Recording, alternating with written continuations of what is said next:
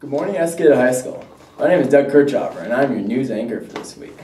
Tomorrow, Tuesday, October 21st, we have girls soccer at Kirk County and boys soccer away. On Thursday, October 23rd, we have boys soccer at Molalla and girls soccer home.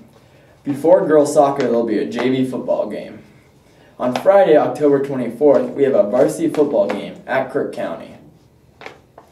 All students, if you need your volunteer hours, on October 24th, Eagle Creek Elementary is looking for volunteers to help set up their family fun night.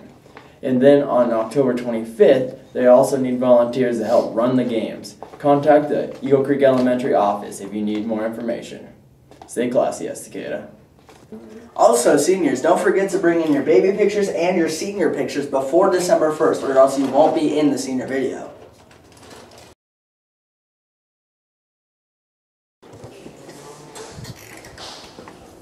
Welcome to Estacada High School Library. I'm Mrs. R.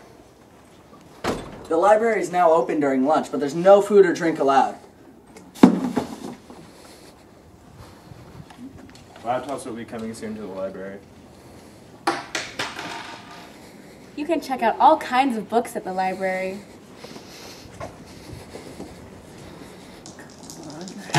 There's lots of fun stuff to do in the library, such as games. All in. all in. Seven! you dunked my battleship.